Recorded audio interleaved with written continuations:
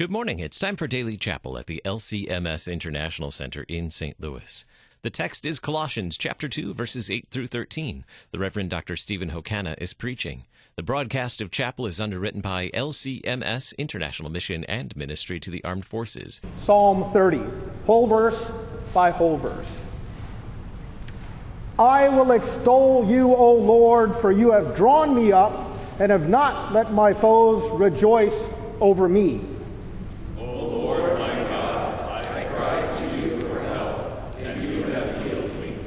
O Lord, you brought up my soul from Sheol. You restored me to life from among those who go down to the pit.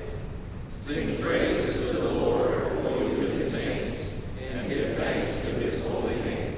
For his anger is but for a moment, and his favor is for a lifetime. Weeping may tarry for the night, but joy comes with the morning. As for me, I said in my prosperity, I shall never be moved. By your favor, O Lord, you made my mountain stand strong. You hid your face. I was dismayed. To you, O Lord, I cry, and to the Lord I plead for mercy. What profit is there in my death if I go down to the pit? Will the dust praise you? Will it tell you of your faithfulness? Hear, O Lord, and be merciful to me. O Lord, be my helper. You have turned for me my mourning into dancing. You've loosed my sackcloth, clothed me with gladness. That my glory may sing your praise and not be silent. O Lord, my God, I will give thanks to you forever. Glory be to the Father, and to the Son, and to the Holy Spirit, as it was in the beginning, is now, and will be forever. Amen. The reading appointed for today is Paul's letter to the church at Colossae, Colossians 2, beginning at the eighth verse. See to it that no one takes you captive by philosophy and empty deceit, according to human tradition, according to the elements of the spirits of the world, and not according to Christ. For in him the whole fullness of deity dwells bodily, and you have been filled in him who is the head and all rule and authority. In him also you were circumcised with a circumcision made without hands, by putting off the body of the flesh, but the circumcision of Christ, having been buried with him in baptism, in which you were also raised with him through faith in the powerful working of God, who raised him from the dead. And you, who were dead in your trespasses and the uncircumcision of your flesh, God made alive together with him, having forgiven us all our trespasses. This is the word of our Lord. Well, grace, mercy, and peace be unto you from God our Father and from our Lord and Savior Jesus Christ. Amen. The basis for today's meditation is our appointed reading Colossians 2 8 through 13. The resident theme that I've selected for this text is the church and its Christ in Him and with Him. So, in this polemic section, verse 8, the Apostle Paul warns sternly against false teachings. He says it clearly in verse 8, where he writes, See to it that no one takes you captive by philosophy and empty deceit, according to human tradition, according to the elemental spirits of the world, and not according to Christ. But next follows a beautiful, almost poetic, hymn like soliloquy. In an antiphonal manner, Paul starts out with a resonant theme of in him and responds antiphonally with him. Here's what I mean verses 9 through 11. And they sing, For in him the whole fullness of deity dwells bodily, and you have been filled in him who is the head of all rule and authority. In him also you were circumcised with a circumcision made without hands, by putting off the body of the flesh by the circumcision of Christ.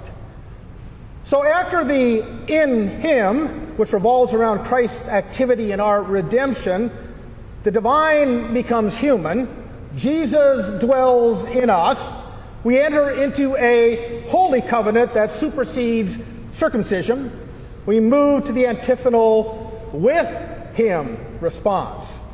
Having been buried with him in baptism, in which you were also raised with him through faith in the powerful working of God, who raised him from the dead. And you who were dead in your trespasses and the uncircumcision of your flesh, God made alive together with him, having forgiven us all our trespasses. So both sections talk of redemption, forgiveness, new life, eternal life. Oh, but the second response raises this Holy Spirit composition to a whole new level. It starts in a very dark place. We were dead, crushed by our trespasses, unclean, unholy. It makes us consider a graphic picture, an impassioned plea, uh, an echo of Psalm 30, where David sings, To you, O Lord, I cry, and to the Lord I plead for mercy. What profit is there in my death if I go down to the pit? Will the dust praise you? Will it tell of your faithfulness? Hear, O Lord, and be merciful to me. O Lord, be my helper. The manifest rescue of God in Christ, spelled out by the true God becoming true man, still maintaining his Godhead, is more than pulling us out of the pit, saving us from certain death, all of which are important. But he does something greater, something completely and totally unexpected. We are made saints. Paul intersperses the word circumcision throughout Colossians 2. Not like in days of old, but it is Jesus who brands us as a holy people.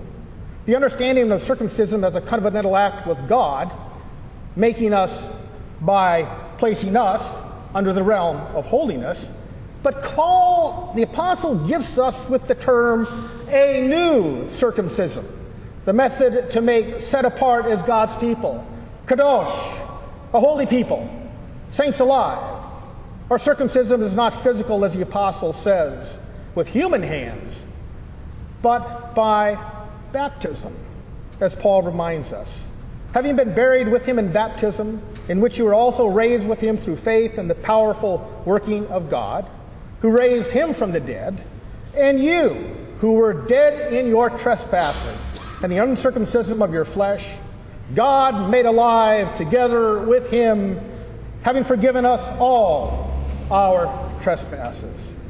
Through Christ, we are now alive, set apart as holy, now washed, now clean, and now forgiven, restored, and loved.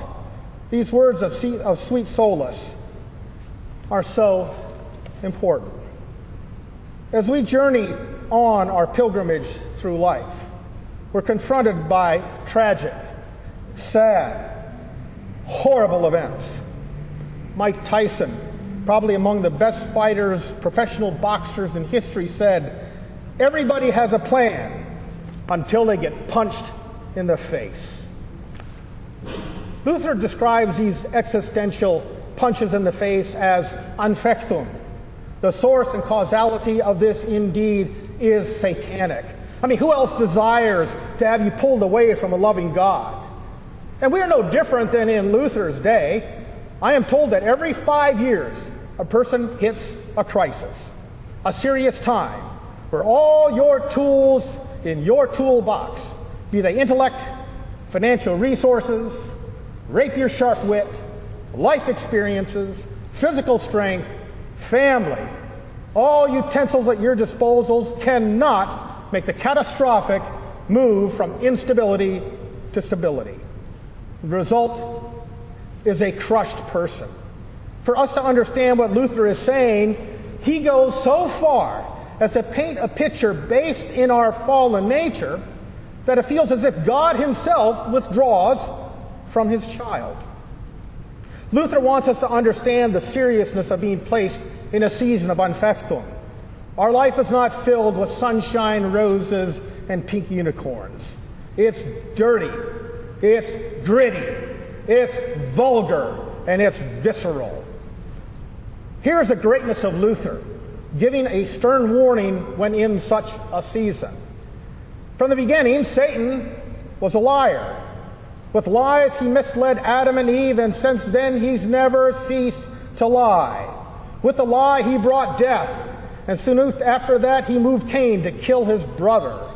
His kingdom continues to operate under these same principles of lying and deceiving. After Satan captures his victims, there is no festive celebration for them, but he troubles them with murder, unrest, and disobedience. Then, when he has brought people into murder and misfortune, he plagues them further about their sins until finally they are without any hope. Take, for an example, Judas, who betrayed Christ. First, he deceived himself with lies. Then his soul was plagued because he was a traitor and a murderer of his own Lord Jesus. Finally, he despaired and hanged himself. Beware of Satan. He is a liar and a murderer. Whoever serves and obeys him must eventually pay him, as did Judas, his servant. Luther wants us to know the response to Anfechtung rests in grace alone. Romans chapter 1, 16 and 17, for the righteous shall live by faith. It is a part of life and a part of the Christian life. All the more we hear the resonant echo of the antiphonal chorus of Colossians 2 We are in him, we are with him. The time of great trial is a time of great temptation and a time of great despair. It is at this time that we look to the cross. We look to Jesus, true man and true God.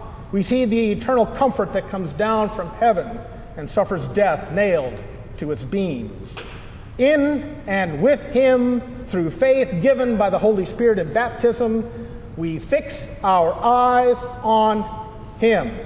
Just as those bitten by poisonous serpents with urgency did, they fixed their eye, turned to the serpent statue, and were saved, so we are called to, to look on Christ. These times in our life are a sentinel reminder where we indeed reside, but we rest on solid ground surrounded by the walls of Fortress Jesus. We look again at our baptism. We set ourselves in confidence, perceptive that Christ resides in us, made alive only by Him. We're forgiven, focused on Jesus, and placing our hope in Him. And we ask this in His holy and precious name, the incarnate Word made flesh, and magnificent eternal Son of God. Amen broadcast of Chapel is underwritten by LCMS International Mission and Ministry to the Armed Forces. To learn more about LCMS International Mission and Ministry to the Armed Forces, visit kfuo.org/chapel.